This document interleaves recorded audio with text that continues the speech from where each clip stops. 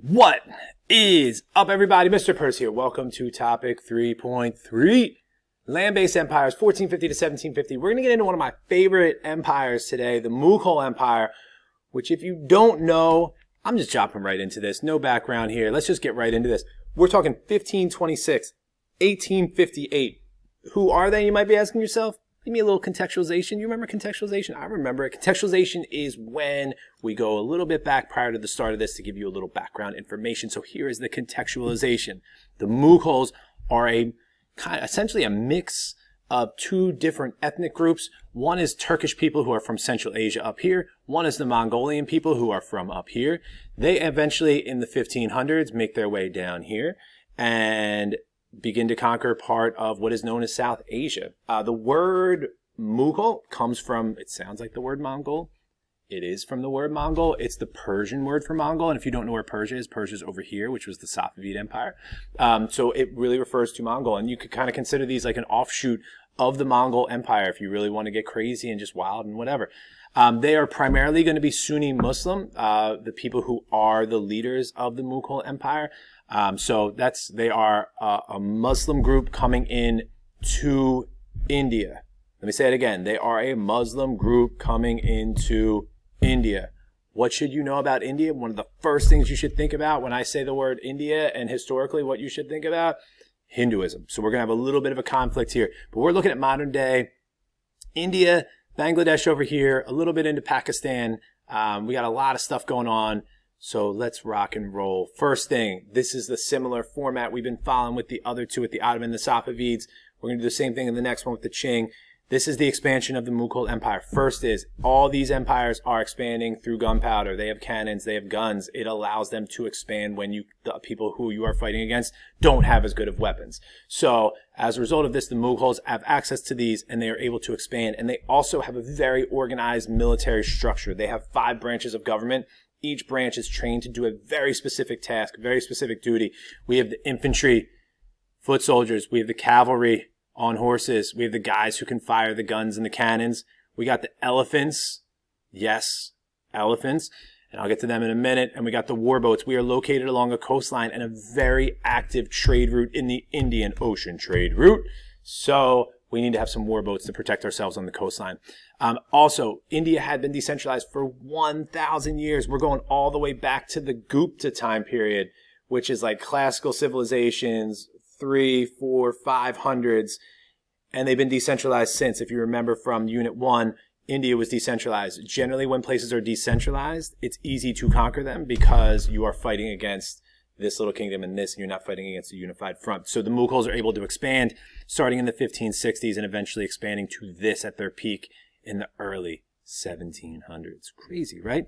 So coming back to this, number two, how do they govern their empire? Great question. Oh, I got it right here. So here's what I got for you. Number one, Government structure. We are centralized. We have one leader. That leader is in charge and oversees the rest of the empire. Does the does that leader make a decision about what you eat every day? Not necessarily. Does the leader get to decide what you what you do for a living? Not necessarily, but the laws are carried out. It's under the orders of this one person.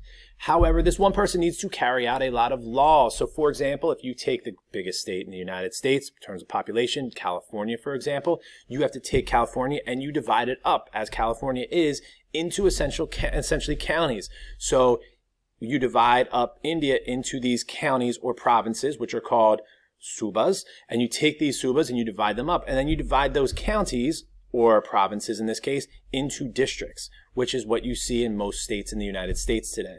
So in this case, we have 15. Then we appoint someone who's in charge. So as the emperor, I get to appoint people, whether I appoint them to these governorships or whether I keep the person who was in power before to make them happy. I also appoint the head of the military and taxation and the imperial household and the judiciary. So it gives me a lot of power because I'm appointing people who I know are A, loyal to me, B, who I might just trust to make decisions, or C, know who will kind of tell me what I need to hear in order to be effective at my ruling. Um, under Akbar, just to kind of show this centralized authority, anyone who gets any conviction in the Mughal Empire is allowed to directly appeal it to Akbar. And if he decides he wants to hear it, you can plead your case in front of him and he can overturn any conviction by anyone, anywhere. Almost like uh, a pardon in a sense. So we have that going on. So we have this centralized government structure Also, we have these monumental architecture, which is a common theme during this period. People who are wealthy, which is a common theme probably today, I wouldn't know, but people who are wealthy generally like to build themselves big palaces or big houses to show how powerful they are. And this is, in this case, we're really going to see in Mughal Empire really a blend of Persian, Turkish, Indian, a little Arabic influence, um, where they're going to blend all these styles together to kind of create this this monumental architecture. This is the most famous, obviously. I know most people recognize this, but in case you don't, this is the Taj Mahal. Uh, this is in India, and this was commissioned actually by Akbar's son. You will see, if you remember your Islamic in architecture, we have minarets on the side. Uh, we have pointed arches. We have the dome. It's like typical Islamic influence, but also with a lot of this, you know, the reflecting pool, we see influence from Persia as well as Turkey or the Turkish influence. And just another example of a, a little palace right here. So good stuff. Um, in terms of C, we got military and bureaucrats. So how are we going to recruit military officials? How are we going to recruit a bureaucracy? What are we going to do?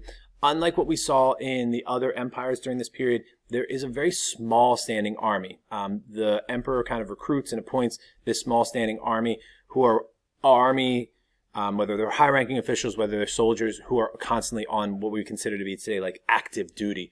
Most military officials or most military um, members are really recruited by local nobles. So you're going to have almost, I don't want to call this feudalism and confuse you, but you have this idea that these local governors and districts are going to be asked by the emperor to contribute soldiers to the army. And you kind of maybe have a three month or six month or a year long commitment and then you'd return home. But they're not people who are like, career soldiers in a sense. So um, they the local leaders would contribute that to the army as an ability to allow them to stay in essential like local power, whether it's a mayor, or governorship, whatever the case might be. Also, like I mentioned before, we have the five branches of the military. I just want to point out this one, the elephants down here. If you look at this awesome picture, which I find so cool because I'm such a dork, but this is uh, the armor that the elephants would wear. You can see you guys have two guys on it. They would probably be carrying some kind of spear or maybe a firearm, um, and the elephants would just run and try and trample people. Like you can't really stop this huge elephant I mean, why would you try? So it really is a solid military um, uh, military capability that the Mughals are going to have because of the elephants, which are local to that region. Also, we're going to have a bureaucracy. Again, bureaucracy are people who are working within the government on behalf of the emperor who are career government officials. Most of the high ranking government officials are going to be based on bloodline, not a meritocracy, not like an exam that you have to take. So we're going to appoint people to these high ranking officials. You get a nice title of like a no, of nobility, which leads to more pay, which leads to more money, which leads to you being happier, uh, which leads to you carrying out the job and what the government wants you to do. In return for all that, um, most of these local bureaucrats are going to again provide soldiers back to the military. So you have this constant flow of I appoint you, you give me something back, yet I'm still it's still centralized power. So a little bit similar to like that feudal like land and that kind of stuff, but really we we're all under the control of one king who is controlling absolutely. Also, we need taxes. Don't forget, taxes are important. Um, unlike other empires where we auction stuff off, this is called the Zamindar um, tax collection, where essentially the Mughals are going to appoint uh, who the tax collectors are. So instead of you buying the position, I just appoint who I want to collect taxes. They go out and collect taxes mainly from peasants. Peasants is the primary source. Most people at this time period are peasants all around the world and you need to provide one third of all crops to the government. So we avoid that kind of middleman thing that we see in others where people tax even higher, which works out. Also, we're going to tax cotton. Cotton is the main uh, production non-farm product. I guess it is a farm product.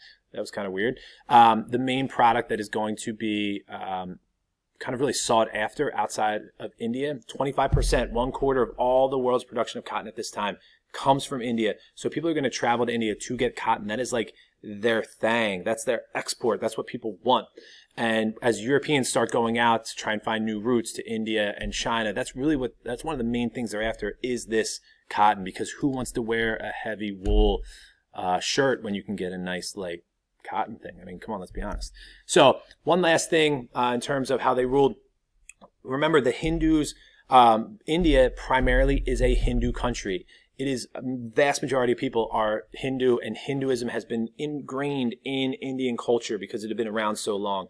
Now you have this upstart Turkish Mongolian Sunni Muslim group trying to come in and conquer.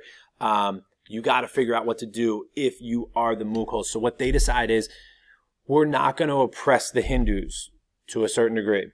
Instead, we are going to allow religious freedom. We are going to intentionally try and find Hindus to serve in our government. We're going to go out and we're going to recruit them and we're going to try and uh, make a conscious or what's called a concerted effort to bring Hindus into the government to kind of keep people happy and to find the best people. Also, we're going to end what's called the jizya tax. And the jizya tax was basically a tax in India and in many Muslim countries or Muslim regions on non-Muslims. So what Akbar says, we're going to get rid of this tax. We're not going to punish people for their religious beliefs financially, which everyone likes because no one wants to be taxed. Also, he doesn't, Akbar does encourage debates on faith, which is very uncommon for the time where he would bring in leaders who were not Muslim, who were Hindu, Christian, Jewish, um, Zoroastrianism, which is from Persia, and bring these people in to, to debate over to, uh, Buddhism, to debate over topics of how you get to the afterlife, what are the major beliefs, um, and have people discuss this. And he really encouraged that. He was a very, to- Akbar is a very tolerant ruler. His great grandson overturns most of these policies. And when he does, it really starts to lead to kind of a slow decline in uh, the Mughal empires. People kind of see themselves as the ability to rebel and they're not happy anymore.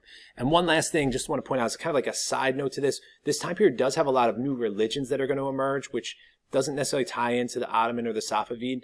Um, but in India, we do have a new religion called Sikhism. Uh, the People who practice Sikhism would be referred to as Sikhs, like S-E-E-K-S is how it's pronounced. But in this case, it's S-I-K-H. This is a religion that is formed in northern India and really started because people wanted to reject the caste system. Um, you can imagine if your family had been in the caste system as an untouchable or lower caste person for years, it's really a tough life. And this religion emerges out of that. There's a lot of similarities to Islam and Hinduism in this religion, but it's not like a branch of it. It's its own separate entity. They are monotheistic.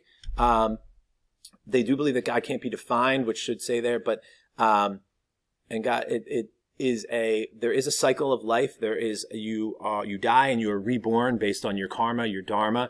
Um, you do pray multiple times a day. It's a very peaceful. It's historically a very peaceful religion. Um, it's a lot about welcoming strangers, welcoming your neighbor into your home. Um, and this is kind of the typical Sikh uniform underneath the uniform. Underneath was wearing, you would keep your, uh, you do not cut your hair. So oftentimes it would be wrapped up in a bun or wrapped around the top. Long beard, you can see here. Um, also a sword, which is given to people, uh, given to as you go into adulthood.